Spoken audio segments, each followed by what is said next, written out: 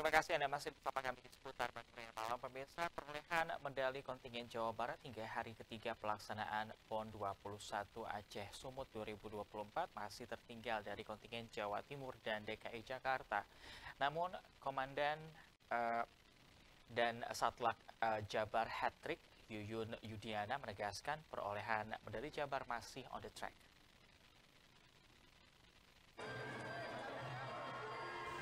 Komandan Satgas Jabar Hatrik Yun Yun Yudiana menegaskan bahwa kontingen Jawa Barat masih on the track.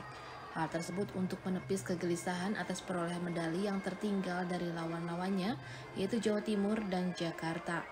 Menurut Yun Yun, cabur-cabur yang akan menjadi lumbung medali emas Jawa Barat baru akan bertanding lima hari setelah pembukaan resmi PON ke-21 atau di hari Jumat atau Sabtu.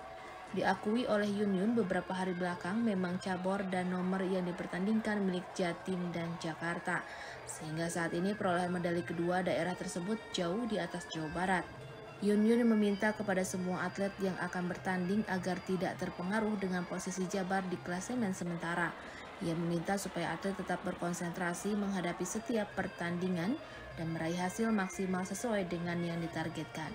Memang di jadwal ini di jadwal ini ini sekarang jadwal ya. Jadwal dari cabang olahraga. Uh, di awal ini lebih banyak memang Jawa Timur. Jadwal punyanya Jawa Timur cabur. Contoh selam dari 25 nomor Jawa Timur ada 13 di situ unggulannya kemudian juga di uh, balap sepeda itu Jawa Timur itu banyaknya jagonya. Bisa membabat habis itu Jawa Timur. Kemudian di uh, apa namanya di Mai Tai ada juga Jawa Timur. Berdasarkan hasil rekapitulasi tim IT Koni Jabar, untuk sementara Jati memimpin klasemen perolehan medali PON ke-21 dengan 44 emas, 31 perak, dan 25 perunggu. Diikuti oleh Jakarta yang mengoleksi 32 emas, 35 perak, dan 22 perunggu.